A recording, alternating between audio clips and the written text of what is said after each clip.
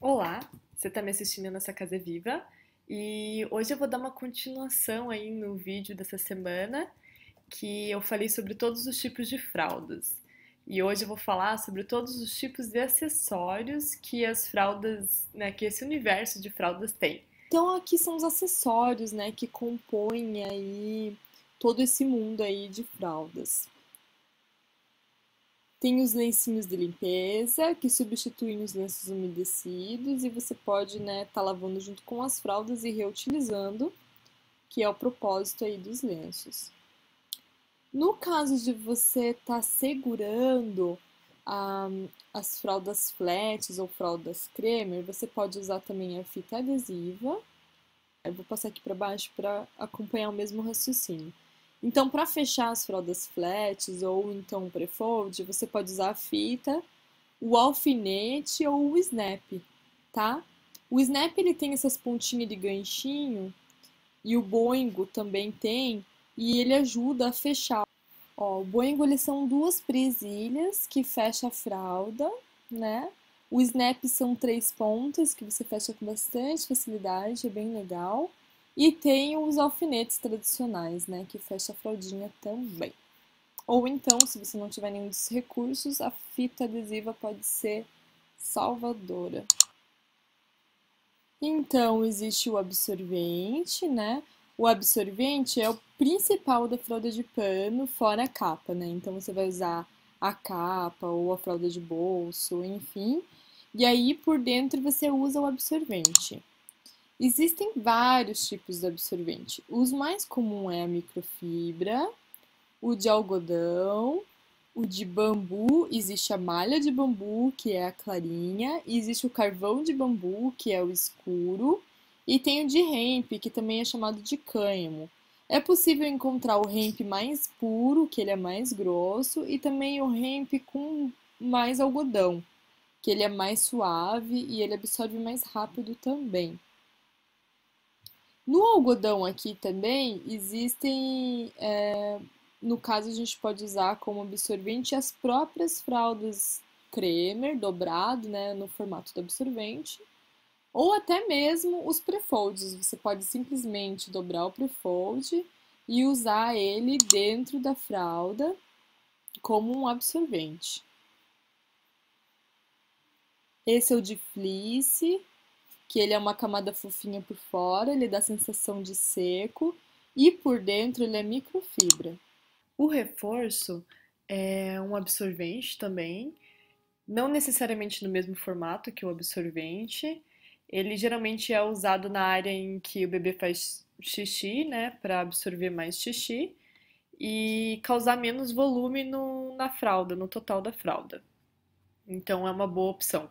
Algumas marcas vendem reforço e outras não.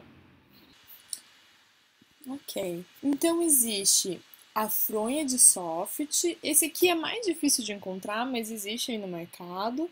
Ele, essa fronha, ela na verdade é uma camada de toque seco que a gente chama, que é para deixar o bebê com a sensação de seco, né? Aí a gente coloca o absorvente dentro e usa no bebê.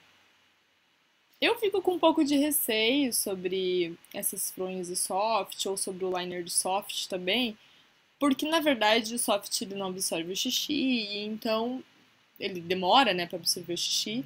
Então eu acredito que deve causar mais vazamentos na fralda. Mas soluciona o caso do bebê também se sentir seco e você poder usar a capa, né? Existe também o forro ou muito conhecido como liner. Ele é um, um, um forrinho mesmo, né? Os biodegradáveis eles são como esse aqui que você consegue ver. Eles são bem fininhos, muitas vezes são de bambu ou de milho. Eles são nesse formato. Você usa sobre a fralda para retirar o cocô com mais facilidade. Então o bebê faz o cocô quando você tira a fralda, você só retira esse liner e joga no lixo, tá? Aqui no Brasil, não é recomendado que se joga na privada. Se o bebê faz xixi, você pode simplesmente lavar esse forrinho e reutilizar uma próxima vez. E existe também os, os liners de soft, né? Que ele também dá a sensação de seco. Você simplesmente pode cortar o soft do tamanho certo ou então comprar e usar sobre a fralda. E então você pode reutilizar ele várias vezes. Existe a bolsa impermeável, que ela é muito interessante, porque quando a gente está fora de casa, é, a gente precisa guardar as fraldas sujas, né? E então esse saquinho ele está protegendo as fraldas, as fraldas não, a roupa e a bolsa do teu bebê de cheiros e de umidade, né?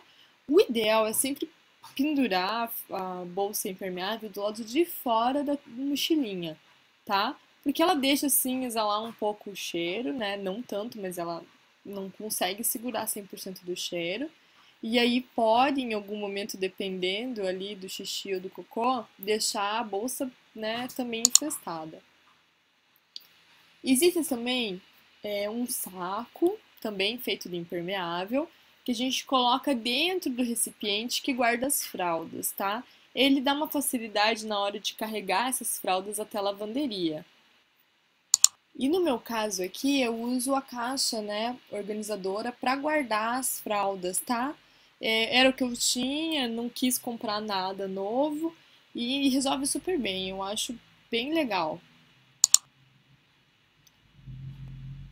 E existem em cestas né, de lixo também que as pessoas usam, que daí coloca esse saco e, e ajuda bastante também.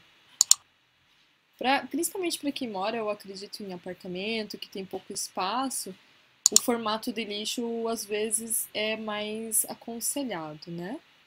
Bom, gente, é isso aí. Se você quiser ver com mais detalhes, você pode ver que eu descrevo os itens, falo um pouco mais sobre eles. Aqui nesse vídeo eu quis realmente fazer um vídeo rápido e em poucos minutos você poder conhecer um pouco mais sobre esse mundo. E então, se você puder entrar e deixar aqui tuas tuas e se você puder entrar e deixar aí seus conselhos sobre fraldas de pano e, e falar um pouquinho mais sobre você, eu vou estar aqui à disposição. E qualquer dúvida, por favor, entre em contato, que eu estarei em prontidão aí para te atender. Tá bom? É isso aí, até a próxima. Tchau!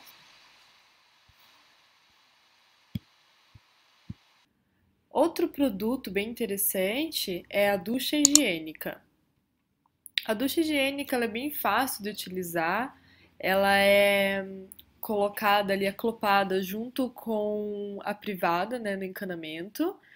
E ela, ela auxilia na retirada do cocô diretamente para dentro da privada. É bem interessante. Porém, quando a gente usa a ducha higiênica, muitas vezes espirra água para fora da privada, né? Então, o interessante seria ter um recipiente que eu chamo recipiente higiênico. Ele auxilia que a água vá para dentro da privada e não espirre para fora. Existe, né, em outros países, um recipiente próprio para isso, mas aqui no Brasil a gente faz um jeitinho brasileiro, a gente consegue reproduzir alguma coisa semelhante a este aqui. É, eu indico, por exemplo, que faça com uma prancheta e reutilizando, né, pastas que de escola mesmo, né, que não se utiliza mais, né, por algum motivo tá ali parado. Então faz as paredes do, do recipiente com essa pasta e o fundo com a prancheta, né? Outra sugestão seria cortar uma parte do galão de 5 litros de sabão líquido, tá? Corta a parte de cima ali, deixando só onde segura o galão e corta o fundo inteiro. E aí também, né, prende ali a fralda com os grampos e facilita bastante na retirada do cocô. Essa aí é uma dica bem, bem bacana aí de se fazer. Bom, esses foram todos os acessórios. Você pode entrar aqui no site para ter mais informações e também deixar aí seu comentário ou entrar em contato caso tenha surgido aí alguma dúvida. É isso aí, falei de todos os acessórios que eu me lembro Então, se surgiu alguma dúvida ou você quiser fazer algum comentário, por favor, fique à vontade. E aproveita para se inscrever no canal, tá bom? Até a próxima. Tchau!